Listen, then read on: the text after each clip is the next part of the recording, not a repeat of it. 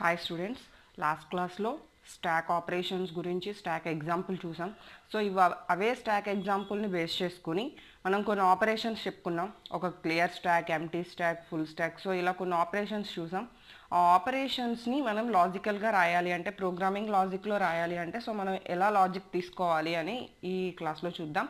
So first of all ఒక stack తీసుకుంటే each and every స్టాక్కి మనం ఒక పాయింటర్ అనుకున్నాం. ఆ పాయింటర్ నేమ్ వచ్చి టాప్ బై డిఫాల్ట్గా టాప్ వాల్యూ మనకి ఎప్పుడు కూడా మైనస్ వన్ ఉంటుంది. సో ఎప్పుడైతే టాప్ వాల్యూ మైనస్ వన్ ఉందో మనకి అక్కడ స్టాక్లో ఎలిమెంట్స్ ఏమీ లేనట్టు. సో ఆ టాప్ని మనం ఇంక్రిమెంట్ చేసుకుంటూ మనం వాల్యూస్ని అందులో మనం ఇన్సర్ట్ చేసుకోవడం అనేది జరుగుతుంది. సో ఓన్లీ వన్ వేలో మాత్రమే మనం ఇన్సర్షన్ అండ్ డిలీషన్ రెండు ఆపరేషన్స్ మనం పెర్ఫామ్ చేస్తాం. సో ఈ ఆపరేషన్స్లో ఫస్ట్ ఆఫ్ ఆల్ మనం చెప్పుకున్నది ఏంటి అంటే క్లియర్ స్టాక్ సో మనకున్న ఆపరేషన్స్ స్టాక్ ఆపరేషన్స్లో మనం క్లియర్ స్టాక్ అనే మెథడ్ తీసుకుంటాం. సో క్లియర్ స్టాక్ అనే ఆపరేషన్స్లో సింపుల్ లాజిక్ ఏంటి అంటే దానికి ముందు నార్మల్గా ఈచ్ అండ్ ఎవ్రీ మెథడ్కి పబ్లిక్ వాయిడ్ రాస్తాం. సో నేను డైరెక్ట్గా రాస్తున్నాను. సో క్లియర్ స్టాక్ మెథడ్లో మనం రాయాల్సిన స్టెప్స్ ఏంటి? సింపుల్గా. క్లియర్ స్టాక్ అంటే ఏంటంటే మనం ఎన్ని ఎలిమెంట్స్ ఉన్న స్టాక్ అయినా సరే ఒక five elements or four elements some elements ఉన్నాయి స్టాక్లో.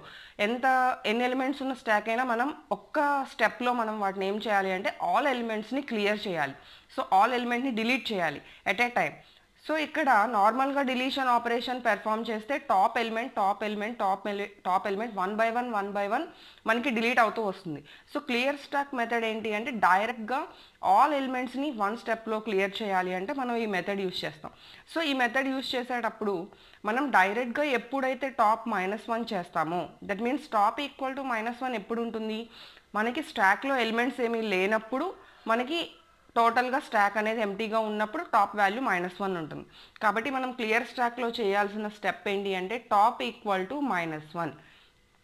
For example our stack having five elements so five elements అయితే టాప్ ఎలిమెంట్ ఎక్కడ ఉంటుంది అంటే ఫోర్ దగ్గర ఉంటుంది. సో ఫోర్ దగ్గర ఉంటున్నప్పుడు మనం ఏం చేస్తున్నాము అంటే డైరెక్ట్గా top equal to minus one అంటున్నాం. So when we want clear stack మనకి ఎప్పుడైతే క్లియర్ స్టాక్ అవసరమో అప్పుడు మనం top equal to minus one అంటున్నాం. Top equal to minus one అనగానే టోటల్ ఆల్ ఎలిమెంట్స్ అరేజ్ అయిపోయి టాప్ వాల్యూ డైరెక్ట్గా మైనస్ వన్ పొజిషన్ దగ్గరకు వస్తుంది. So that is the one first option second option ఏంటి? మనం ఎంటీ స్టాకా కాదా? చెక్ చేద్దాం అనుకుంటున్నాం అనుకోండి. So that is empty stack public void empty stack so empty stack method గురించి రాయాలి అంటే మనకి ఎంటీ అని ఎప్పుడు చెప్తున్నాం? సేమ్ మనం లాస్ట్ క్లా లాస్ట్ మెథడ్లో చెప్పుకున్నట్టే top equal to minus one ఎప్పుడైతే ఉందో అప్పుడు మనకి స్టాక్ ఎంటీగా ఉన్నట్టు.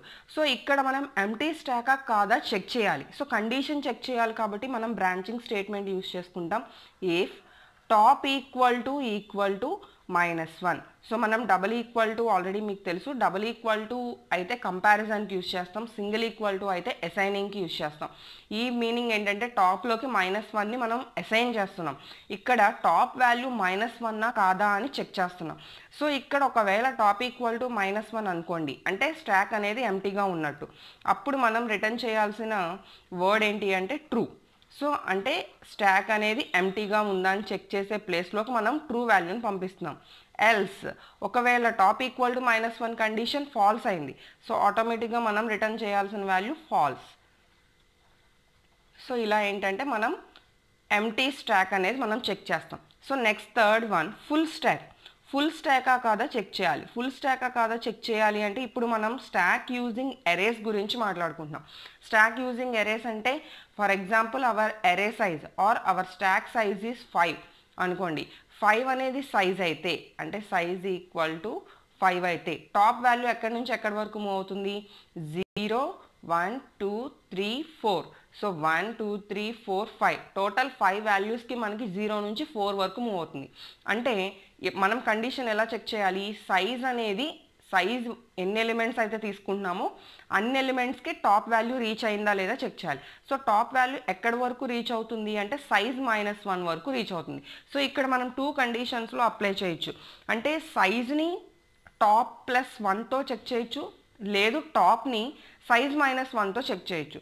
సో ఇక్కడ నేను సైజ్ని టాప్ ప్లస్ వన్తో తీసుకుంటున్నాను.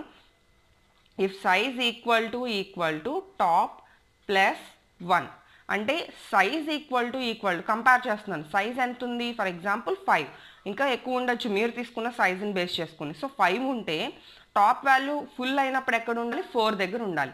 So four plus one five five equal to equal to five ఎప్పుడైతే size వాల్యూకి top plus one value equal అయిందో అప్పుడు మనకి స్టాక్ అనేది ఫుల్గా ఉన్నట్టు. Then return true otherwise return false so ఇలా మనం వన్ బై వన్ చెక్ చేసుకుంటూ వస్తున్నాం. So clear stack empty stack full stack so ఇలా three operations okay next fourth one వచ్చి push very very important thing push push means insertion insertion చేయాలి అంటే మనకి stock అసలు ఎంటీగా ఉందా లేదా? అంటే మొత్తం టోటల్ ఫైవ్ ఎలిమెంట్స్కి మనకి ఛాన్స్ ఉంది. సో ఇప్పుడు మేబీ నేను ఫస్ట్ ఎలిమెంట్ పుష్ చేయొచ్చు సెకండ్ ఎలిమెంట్ పుష్ చేయొచ్చు లేదు లాస్ట్ ఎలిమెంట్ పుష్ చేయొచ్చు. So each and every pushing మనం చెక్ చేయాల్సిన నెసిటీ ఏంటి అంటే if stack is full stack or not అంటే అసలు వన్ ఎలిమెంట్ ఇన్సర్ట్ చేయడానికైనా మనకి ఛాన్స్ ఉందా లేదా? ఒకవేళ స్టాక్ ఫుల్గా ఉంది అనుకోండి మనకి there is no chance to push మనకు పుష్ చేయడానికి ఛాన్స్ లేదు. సో అలాంటి సిచ్యువేషన్లో మనం ఏం చేయాలి అంటే first of all push check చేయాలి అంటే అంటే ఐ మీన్ పుష్ మీరు ఇన్సర్ట్ చేయాలి అంటే మనం చెక్ చేయాల్సింది if of full stack full స్టాకా కాదా మనం చెక్ చేస్తాం.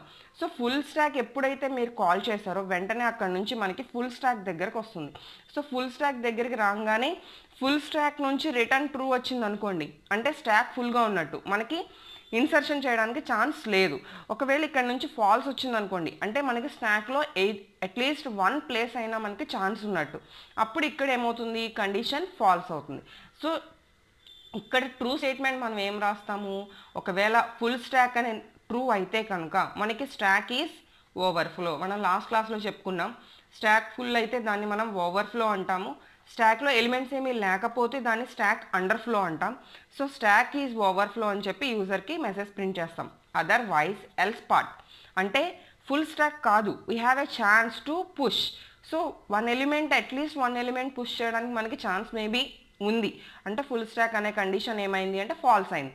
సో అలాంటి సిచ్యువేషన్లో ఫస్ట్ ఆఫ్ ఆల్ మనం ఏం చేయాలి? అంటే టాప్ ఈక్వల్ టు మైనస్ వన్లోనే ఉంది అనుకుందాం. So my first minus one position నుంచి ఫస్ట్ ఎలిమెంట్ పొజిషన్ జీరో దగ్గరికి మనం మూవ్ చేయాలి. మూవ్ చేయాలి అంటే మనం చేయాల్సిన statement top plus plus top plus plus means top equal to top plus one దాన్ని షార్ట్కట్లో మనం టాప్ ప్లస్ ప్లస్ అని చెప్పి రాస్తాము.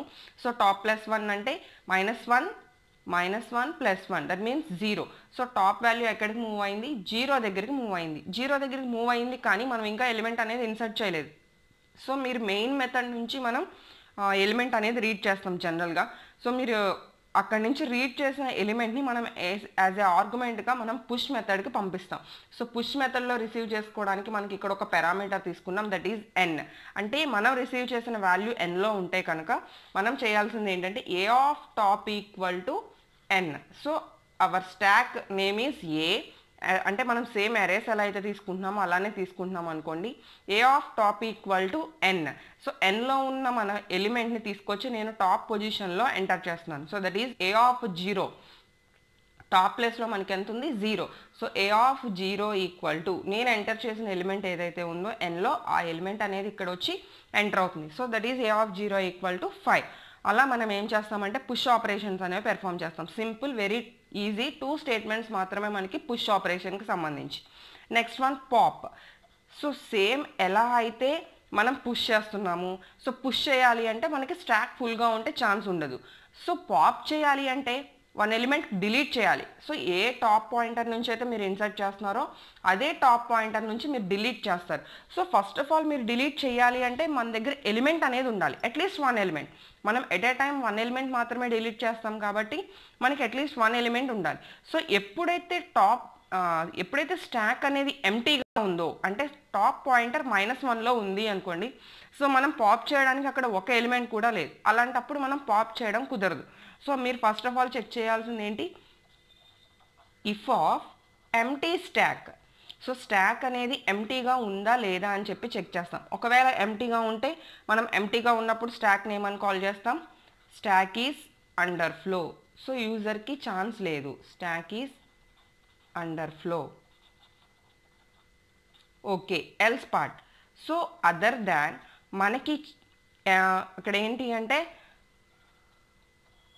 ఒకవేళ మనం పాప్ చేయాలి. పాప్ చేయాలి అంటే మనకి ఎంటీ స్టాక్ కండిషన్ ఫాల్స్ అయింది. ఎంటీ స్టాక్ కండిషన్ ఫాల్స్ అయింది అంటే మనకి ఒక ఎలిమెంట్ అనేది ఉంది డిలీట్ చేయడానికి. సో అలాంటి సిచ్యువేషన్లో మనం డిలీట్ చేయాలి అనుకోండి మనం ఏం చేయాలి?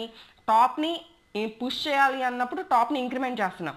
డిలీట్ చేయాలి అన్నప్పుడు మనం ఏం చేస్తున్నాము అంటే టాప్ని డిలీట్ ఐ మీన్ టాప్ని డిక్రిమెంట్ చేస్తాం సో డాప్ని ఎప్పుడైతే డిక్రీజ్ చేస్తామో ఆటోమేటిక్గా ఆ ఫస్ట్ పొజిషన్లో ఉన్న ఎలిమెంట్ ఏమవుతుంది అంటే డిలీట్ అయిపోతుంది. For example I'm inserting four next three so present top ఎక్కడుంది అంటే టూ దగ్గర ఉంది.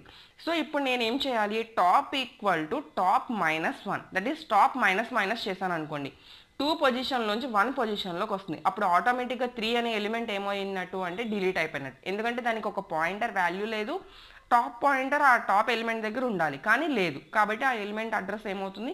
టోటల్గా మెమరీలోంచి ఆ వాల్యూ అనేది డిలీట్ అవుతుంది. సో ఇక్కడ పుష్కి మనం ఇంక్రిమెంట్ చేస్తాము. పాప్కి వచ్చి డిక్రిమెంట్ చేయాలి. సో ఫస్ట్ ఎల్ ఎల్ స్పాట్లో మనం ఏం చేస్తున్నామంటే ఇంట్ ఎక్స్ ఈక్వల్ టు సో ఇది మనకు ఆప్షనల్ మనకి ఇంట్రెస్ట్ ఉంటే చేయొచ్చు. Int x equal to a of top first ఆ ఎలిమెంట్ని మనం క్యాచ్ చేసి ఎక్స్లో స్టోర్ చేసుకుంటున్నాం. ఎక్స్లో స్టోర్ చేసి పెట్టుకున్న తర్వాత ఏం చేస్తాము అంటే టాప్ మైనస్ మైనస్ చేస్తాం. That is top equal to top minus one so top value decrement అయిపోయింది. ఇప్పుడు యూజర్కి మనం చెప్దాం అనుకుంటున్నాం. ద డిలీటెడ్ ఎలిమెంట్ ఈజ్ ఏదైతే ఎలిమెంట్ మనం డిలీట్ చేసామో దాన్ని యూజర్కి షో చేయాలి అనుకున్నప్పుడు ఈ స్టోర్ చేసుకున్న పాయింటర్ యూజ్ అవుతుంది. So system dot out dot print line the deleted element is the deleted element is x so x value మనకి ప్రింట్ అవుతుంది. సో ఇలా మనం ఏం చేస్తాము అంటే టోటల్ స్టాక్ ఆపరేషన్స్ని ప్రింట్ చేయడం జరుగుతుంది. సో డిస్ప్లే మెథడ్ కూడా ఉంది. డిస్ప్లే మెథడ్ అనేది ఈచ్ అండ్ ఎవ్రీ డేటా స్ట్రక్చర్కి మనం కామన్గా తీసుకుంటాం. ఎందుకంటే సేమ్ మీరు ఒక ఎరే డిక్లేర్ చేసి ఆ ఎరేలో వాల్యూస్ని ఎలా అయితే ప్రింట్ చేస్తారో సేమ్ ఇక్కడ కూడా మనం అలానే వాల్యూస్ని ప్రింట్ చేస్తాం. సో అందుకని డిస్ప్లే మెథడ్ నేను టోటల్ ప్రోగ్రామ్ డిస్ప్లే చేసినప్పుడు చూపిస్తాను. సో ఇవి main stack operations. So first one clear stack second one empty stack and third one full stack fourth one push and fifth one pop so last sixth one వచ్చి display టోటల్గా main operations ఇవి. So మొత్తం ఏ operation అయినా కూడా based on one pointer stack pointer that is top by డిఫాల్ట్గా top value is minus one and full stack అయినప్పుడు size equal to top plus one so ఇలా మనం బేస్ చేసుకుని top పాయింటర్ని each and every operation perform చేస్తాం.